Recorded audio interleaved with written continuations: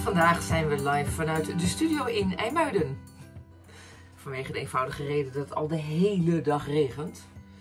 Ik weet of jullie een beetje dat, uh, dat zicht uh, kunnen zien. Zo, zo naar buiten, zo. Alleen maar bleh, vies weer. En uh, ik ben wel buiten geweest. maar het is niet echt handig om te filmen. Terwijl je door de stromende regen loopt. Dus we doen het even zo. Dat kan ook. Ook heel gezellig bij mij op kantoor. Uh, we gaan even door over de deugdrechtvaardigheid. En dat was gekoppeld aan, uh, aan, aan IRA, de, de woede, waar deze psychiater het over heeft. Vorige keer hebben we het een en ander besproken over de boosheid die we zien toenemen in ons land. En daaraan gekoppeld, maar waar is dan de rechtvaardigheid? Er was eigenlijk twee conclusies die, die de psychiater ook trok en die zelf ook wel terug te zien is. Namelijk aan de ene kant um, lijkt het alsof wij steeds gevoeliger worden voor onrecht. Dus we zijn steeds sneller op ons steentjes getrapt. Um, we vinden dat we steeds meer recht hebben op. Het is heel erg steeds meer ik-gericht. Um, ik heb recht op vrijheid, ik heb recht op vakanties, ik heb recht op dat jij mij gelijkwaardig behandelt, ik heb recht op. Um, waardoor we eigenlijk ook heel erg met het individualisme hebben te maken.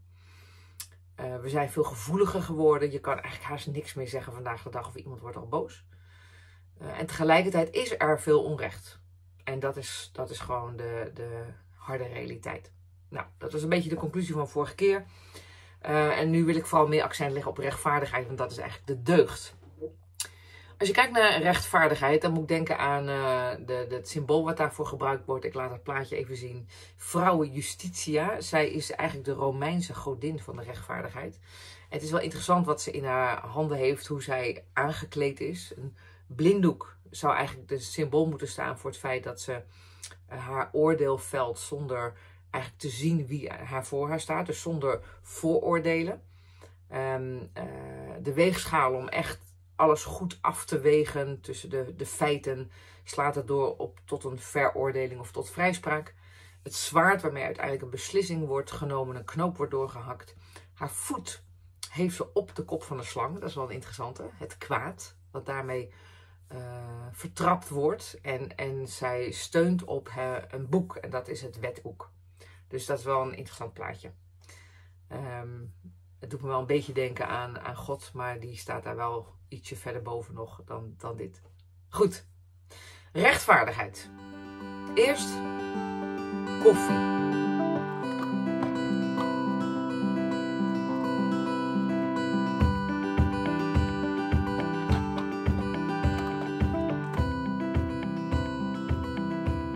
Daar heb ik recht op. Goed, als we kijken naar rechtvaardigheid, dan zien we dat dat ook heel veel gebaseerd is op het feit dat we vinden dat we allemaal gelijkwaardig behandeld moeten worden. Dat is momenteel, lijkt wel of dat alleen maar meer toeneemt. Um, waardoor bijna alles gebaseerd wordt op uh, wat zeg je en wie kan je daar eventueel mee kwetsen. Dat is eigenlijk het op eieren lopen vandaag de dag. Politiek correct. Soms vraag ik me af, ja, wat is eigenlijk nog politiek correct? Um, de discussie wat nu in boeken kinderboeken waar, waar woorden worden weggehaald die eigenlijk niet meer kunnen. Je kan niet meer een dikke mevrouw zeggen, geloof ik. Dat moet enorm nu zijn. Maar mag je dan wel dun zeggen? Mag je een mager meisje zeggen? Mag je klein zeggen? Mag je groot zeggen? Je kan op een gegeven moment niks meer zeggen. En dat is dus het streven naar gelijkwaardigheid. En tegelijkertijd, dat is weer die, die paradox waar we om vechten, willen we allemaal uniek zijn. Zijn we allemaal uniek? Zijn we allemaal uitzonderlijk en willen we allemaal dat met mij rekening wordt gehouden. Dat botst. En de eenvoudige realiteit is dat, we niet, dat er geen gelijkwaardigheid is in dit leven, omdat we leven in een gevallen wereld. Maar de vraag is, hoe reëel is het dat we alles en iedereen op hetzelfde niveau willen behandelen? Is dat haalbaar? En zijn we daar niet een beetje te gevoelig voor geworden? Nou, dat is één ding. En ik vind daar een hele mooie uh, vergelijking in in de Bijbel, ik weet niet of jullie dat verhaal kennen van de, de wijngaard en de landman. Um, even kijken waar het staat. Ik heb hem ergens opgeschreven. Matthäus 20. Matthäus 20 verschijnt hieronder. Ik ga niet de hele tekst uh, uh, ondertitelen, want het is veel te lang. Heel kort, verhaal van de, de gelijkenis de arbeiders in de wijngaard. Uh, Jezus vertelt dat verhaal dat er een landheer is en die heeft werkers nodig. En hij gaat naar de marktplaats en s ochtends vroeg vraagt hij iemand om voor hem te komen werken. En hij belooft hem een bepaald bedrag voor het werk. Hetzelfde doet hij Drie uur later weer naar de markt iemand halen. Nog drie uur later weer iemand ophalen. En zelfs op het eind van de dag iemand die nog één uurtje voor hem komt werken. Allemaal persoonlijke afspraken. Aan het eind van de dag zijn ze klaar en dan roept hij ze allemaal bij zich en dan gaat hij ze uitbetalen. En dan begint hij met de ene die een uur heeft gewerkt en die geeft hij, noem maar wat, 100 euro. En degene die als eerst is gekomen, uh, die blijkt dan ook 100 euro te hebben afgesproken met de eigenaar. Dus die, die flipt van hallo, dat is niet eerlijk. Ik heb 8 uur gewerkt en, en u gaat mij 100 euro geven, maar hij heeft maar een uur gewerkt. En dan zegt Jezus ook, wat heb ik fout gedaan? Je beschuldigt mij nu van goed doen. En ik heb met hem een afspraak en ik heb met jou een afspraak. En ik hou mij aan mijn afspraken en ik doe goed. En, en daar wringt dan de schoen. Hè? Als wij vinden dat het gelijkwaardig moet zijn, uh, dan denk ik ook wel eens in relatie tot God. Ook daarin worstelen we soms met, met rechtvaardigheid. Dat we onszelf dan vergelijken met een ander. En dat wij vinden dat ons onrecht wordt aangedaan. Um, heer, waar is God dan? Die ander wordt veel meer gezegend. Uh, en ik denk dat er heel veel rust kan ontstaan als wij leren vanuit de persoonlijke relatie met Jezus. Onze uh, rust te vinden, onze beloning te vinden, onze rechtvaardigheid te vinden. Maar wel met Hem samen. Hij weet het echt beter. God is rechtvaardig en Hij kent mij, Hij kent jou. Hij weet wat een ander nodig heeft. Um, en, en hoe kan ik me druk maken over het feit dat Hij goed wil doen aan een ander? En vaak zit het dan in, ja, en ik dan? En dan is dat toch weer het gevoel van, ik tel niet mee, ik word niet gezien. Uh, en, en dat is ten diepste niet echt de liefde van God kennen die Hij voor jou heeft. Je daar zo geliefd en rustig in weten dat het oké is als een ander gezegend wordt. En daar zit onze worsteling soms ook in als het gaat over onrecht en rechtvaardigheid.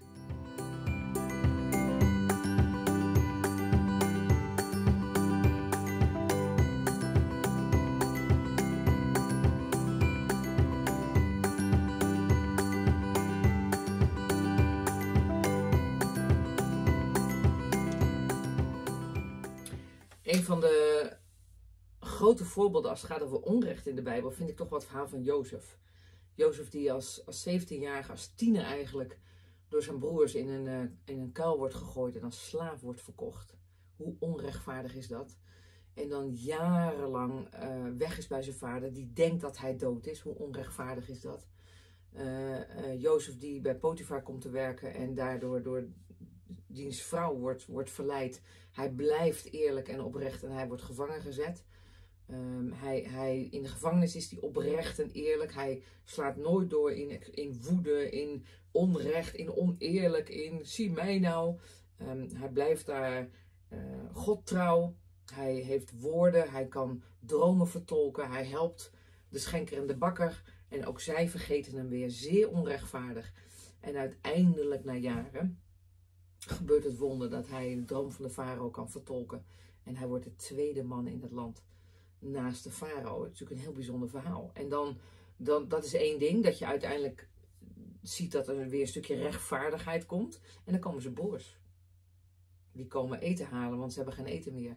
Oeh, dan denk ik, wat moet daar door Jozef heen zijn gegaan? Al het onrecht wat hij heeft meegemaakt, dat, dat kan hij bot vieren op ze. Hij kan een spelletje met ze spelen, hij kan ze te pakken nemen. En je ziet door de tranen heen hoe, dat, hoe ze dat omschrijven, hoe hij daarmee worstelt, hoe hij eigenlijk ze nog uitdaagt en, en iets verstopt in de zak van Benjamin. En Benjamin eigenlijk gearresteerd wordt. En, um, en uiteindelijk ontmoet hij zijn broers. En als hij zichzelf kenbaar maakt, dan, dan schamen ze zich alle kanten op. En dan denken ze, ja, nu is het gedaan met ons. En dan weet Jozef te zeggen, God heeft dit ten goede gekeerd dit hele, deze hele weg is bedoeld zodat ik nu de man kan zijn om jullie te voorzien in eten. Wauw. Dat is zo dicht bij God blijven en vertrouwen dat dwars door alle onrecht heen God nog steeds een plan heeft. God nog steeds het grote geheel overziet. Dat is het interessante dat deze psychiater dat zegt in haar boek. Um, wij als individu overzien heel veel niet. God wel. En wij zijn zo bezig met ons eigen recht dat we daarmee wel eens het, grote plan van God helemaal uit beeld verliezen. Het plan wat hij met de mens heeft. En hij gaat niet ten koste van iemand de weg. Maar hij wil wel degelijk ons allemaal inzetten en ons zegenen. Maar hij weet echt wat het beste is. En kunnen we te midden van, van situaties die onrechtvaardig zijn bij Hem uitkomen. Zeggen, Heer, ik heb u nodig, help mij, maar ik wil ook het grote plaatje zien. En ik wil dicht bij u blijven. En ik geloof dat u dit nog steeds alles kan laten meewerken ten goede. En dan is het niet gebaseerd op alleen maar vechten tegen onrecht. Maar dan is het vertrouwen in een God die, die voor je zorgt. En, en dat is geloof. Geloof hebben in een almachtige God die ook voor ons zorgt. Ook ten tijde van onrecht. Prachtig verhaal. Prachtig, prachtig, prachtig. Ik wil een paar Bijbelteksten lezen. Omdat het woord zo ontzettend mooi is. En omdat er zoveel mooie dingen in staan over wie God is. Ik zal er eentje lezen uit Psalm 145. Die verschijnt zo voor een deel hier onderin. Vers 14. Er staat: De Heer ondersteunt ieder die dreigt te vallen. Ieder die gebukt gaat, helpt hij overeind. Alle ogen zijn op u gericht. U voorziet ieder op zijn tijd van voedsel. Als u uw hand open doet, maakt u iedereen gelukkig. De Heer is rechtvaardig in alles wat hij doet. Zijn goedheid en liefde stralen af van alles wat hij maakt. De Heer is dicht bij ieder die hem aanroept met een zuiver hart. Mensen die omzag voor hem hebben, komt hij tegemoet. Hij hoort hun roepen om hulp en redt hen. Prachtig. Op zijn wijze. God weet het echt beter. Maar prachtig, dit is zo bemoedigend. Nou, dan een hele mooie tekst. Romeinen 12, vanaf vers 17, daar staat: Vergeld geen kwaad met kwaad. Ook al, dit is even mijn toevoeging, ook al kan je kwaad zijn en terecht. Um, dit is weer zo'n prachtig advies vanuit de Bijbel. Vergeld geen kwaad met kwaad, maar probeer, de Bijbel, voor alle mensen het goede te doen. Vers 18. Stel, voor zover het in uw macht ligt, alles in het werk om met alle mensen in vrede te leven. Neem geen wraak, geliefde broeders en zusters, maar laat God uw wreker zijn. Want er staat geschreven dat de Heer zegt: Het is aan mij om wraak te nemen, ik zal vergelden. Dat vinden we soms heel lastig, hè? Dat we willen een God die liefdevol is. En hoe kan God nou vergelden? En tegelijkertijd heb ik vorige keer ook gezegd, is er soms zoveel onrecht dat je wel degelijk wil dat er wordt ingegrepen. Wij zouden zelf ook ingrijpen. Als er iets gebeurt op straat en iemand wordt in elkaar geslagen, ga ik niet zeggen, nou nee, ik ben alleen maar lief. Ik ben alleen maar lief. Ga me niet helpen. Dan ga ik helpen. En, en dan ga ik ingrijpen en dan kan ik iemand misschien heel hard beetpakken en zeggen, nou is klaar. Omdat je geen onrecht wil, omdat je iemand wil beschermen. En deze tekst zegt, laat dat nou aan God over. Ga niet zelf eigen rechter spelen, wat ik net ook heb gezegd.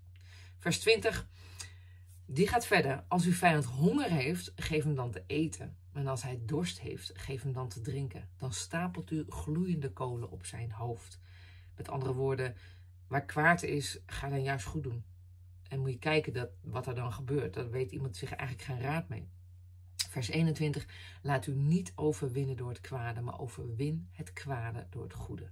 Nou, daar geloof ik heel erg in als het gaat over rechtvaardigheid. Ja, we mogen vragen om recht.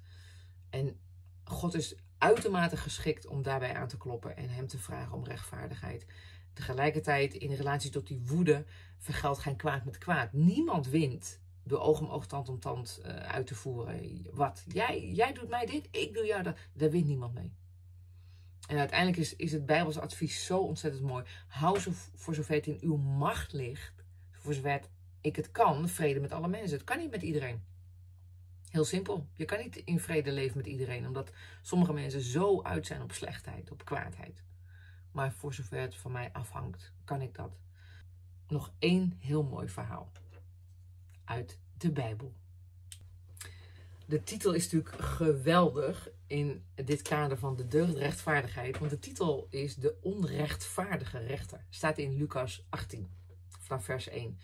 En dat gaat over een, eh, een, een weduwe. En er staat over, die, oh nee, over een rechter en een weduwe. En er staat over de rechter dat hij geen ontzag had voor God.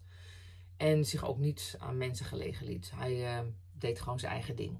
Iets wat we misschien wel herkennen in onze maatschappij. Ieder voor zich. En God zoekt het maar uit.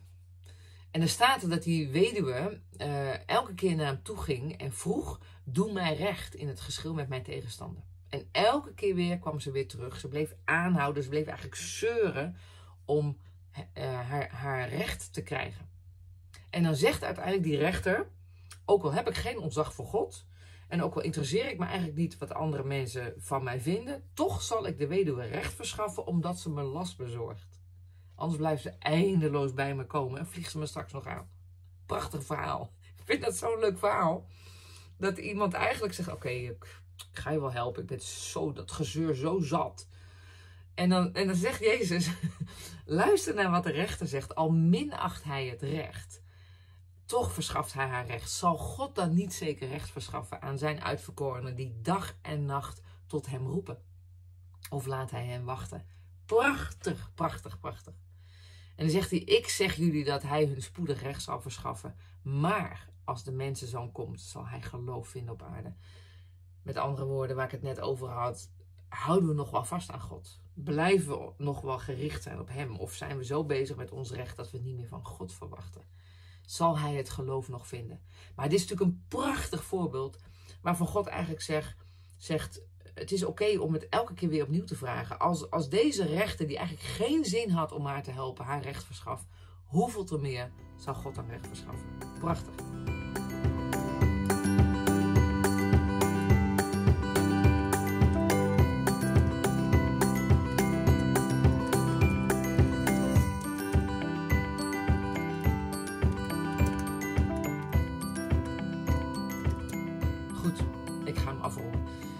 Ik ben voor mezelf wel eigenlijk aan een soort van, van rijtje gekomen als het gaat over woede en rechtvaardigheid.